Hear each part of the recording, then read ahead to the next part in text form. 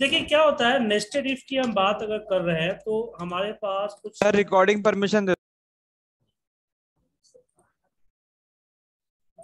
तो हमारे पास कुछ मान लीजिए कि सेल्स है और मुझे इस पे इंसेंटिव देना है। मुझे इसमें इंसेंटिव देना है। और इंसेंटिव का मेरा एक स्लैब स्लैब मतलब ज़ीरो टू अगर फोर्टी हुआ तो फाइव हंड्रेड का है फोर्टी वन टू एट्टी हुआ तो वन थाउज़ेंड का और एट्टी वन टू हंड्रेड हुआ तो फिफ्टीन हंड्रेड का। और ग्रेटर देन हंड्रेड हुआ तो वन थाउज़ेंड का। वन थाउज़ेंड फाइव थाउज़ेंड कर देते ठीक है? अब मुझे यहाँ पे इस इंसेंटिव को प्लॉट करना अब प्रॉब्लम यहाँ पर ये है आ, कि कैसे करें? तो जैसे आप देखिए यहाँ पे किसी के लिए भी कुछ बचा हुआ है? नहीं। कोई भी नंबर आएगा उसके लिए इंसेंटिव है। तो हम नीचे से ऊपर की तरफ़ बढ़ेंगे। और इसमें एंड रूम लगाने की ज़रूरत नहीं है।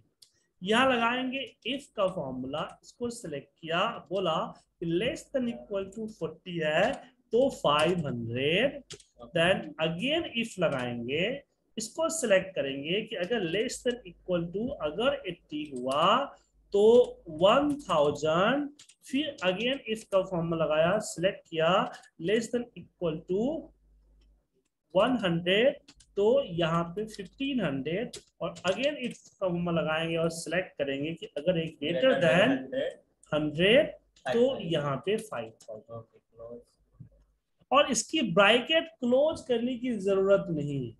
एंटर प्रेस कीजिए ब्राइकेट ऑटोमेटिकली क्लोज हो जाएगा। तो आपको ब्राइकेट क्लोज करने की ज़रूरत नहीं है और आपका इंसेंटिव हो गया।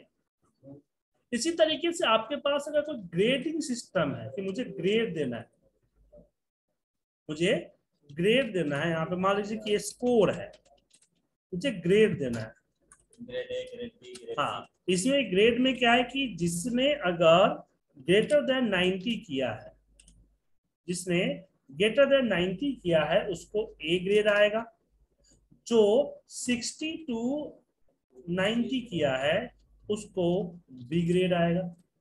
और जो 30 टू 60 किया है उसको सी ग्रेड आएगा। और जो लेस देन थर्टी गया वो फिर।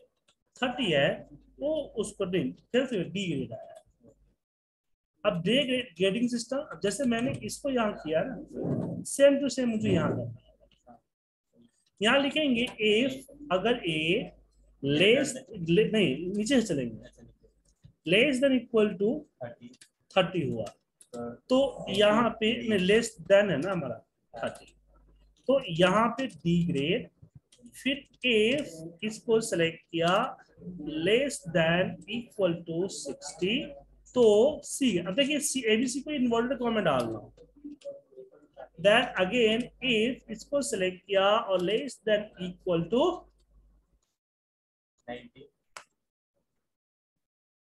ninety. 90 तो बी ग्रेड और फिर लास्ट में इफ़ अगर A greater than equal to ninety. 90 हुआ ए। इक्वल हुआ greater than greater equal to तो मैं यहाँ डाल चुका हूँ ना यार equal less than greater than 90 तो ए ग्रेड और लास्ट में ब्रैकेट क्लोज करने की ज़रूरत नहीं है एंटर प्रेस कीजिए यस कीजिए आपका पूरा ग्रेडिंग सिस्टम तैयार हो जाएगा। ठीक है सर? जी सर। अब इसमें एक चीज़ और है और की अगर हम बात करें जैसे मान लीजिए कि मैं मैं एक फॉर्म एक डेटा कलेक्ट कर रहा हूँ जिसमें से आईडी प्रूफ किसका किसका हुआ है उसका एक स्टेटस है। तो यहाँ पे किसी ने पैन नंबर दिया है किसी ने वोटर आईडी कार्ड दिया है किसी ने डीएल दिया है किस डीएल किसी ने यूआईडी दिया है और किसी ने पासपोर्ट दिया है। अब मुझे स्टेटस में ओके या पेंडिंग देना है।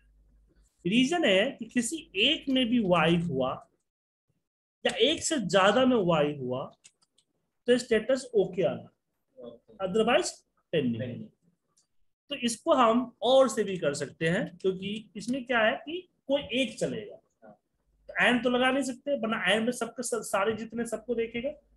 तो यहाँ पे इक्वल टू मैंने y किया कॉमा फिर इसको सिलेक्ट किया इक्वल टू y फिर इसको सिलेक्ट किया that is equal to y फिर इसको सिलेक्ट किया that is equal to y अच्छा एक चीज़ बताइए हाँ। जैसे सम करते हैं अपन सम करते हैं ना तो एक ही बार में सभी को सिलेक्ट कर लिया। इसमें नहीं होगा। इसमें नहीं। हमने दे दिया रिज़ल्ट ट्रू आया। अब मुझे इस ट्रू को इफ़ फॉर्मूले की मदद से क्या करना है? ओके okay, ओके और पेंडिंग और पेंडिंग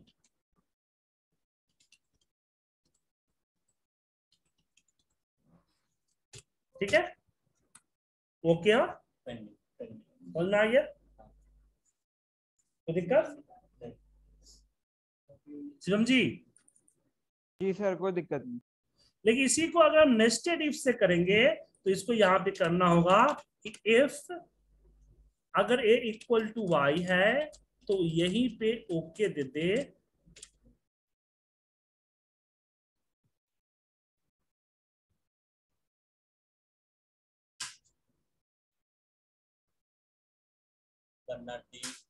फिर यहाँ इफ़ फिर इसके बाद इसको सेलेक्ट किया और बोला कि ये वाई है तो यहाँ पे okay they they.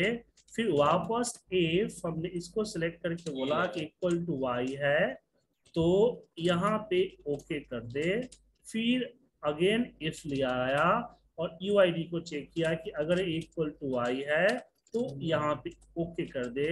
Then if हमने इसको सिलेक्ट किया और इक्वल टू वाई किया। ओके अदरवाइज़ पेंडिंग ओके यहाँ पे पेंडिंग होने के चांसेस जो है सिर्फ़ एक बार है। ठीक है?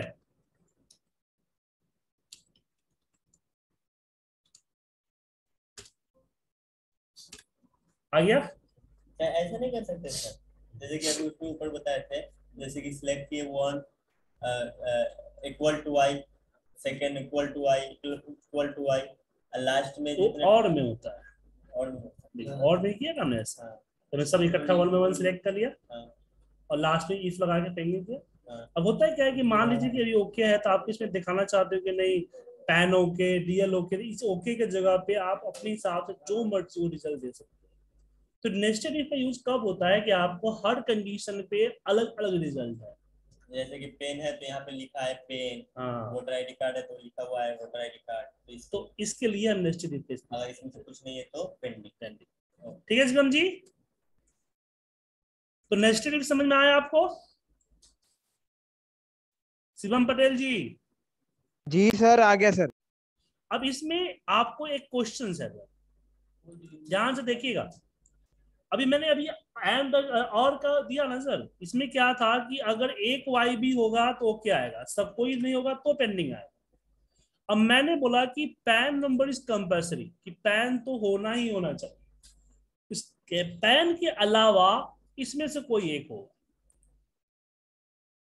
कि पैन तो होना ही चाहिए पैन के अलावा इसमें से कोई एक चलेगा। ठीक है? समझे? जी सर जी अब इसका सोल्यूशन आपको ढूंढ को देना है। और कल आपका इफ़ का टेस्ट होगा। ठीक है? जी जी सर। हम इफ़ के कुछ क्वेश्चन देंगे